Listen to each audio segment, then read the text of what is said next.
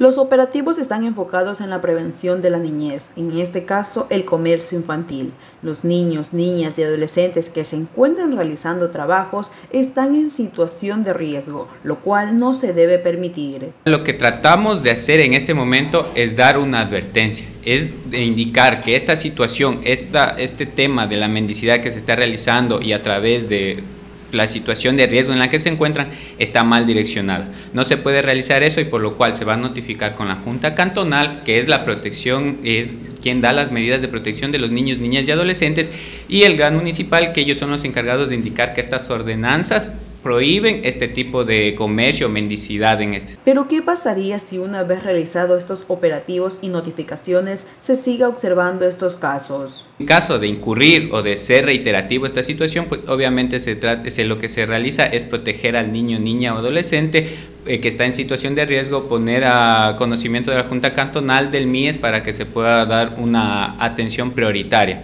de no encontrarse una familia ampliada o una persona que se haga cargo, que sea familiar de este niño, niña, adolescente, pues obviamente tendrá que ingresar a, una, a un centro de protección. Con esto lo que se busca es eliminar la mendicidad y el trabajo infantil.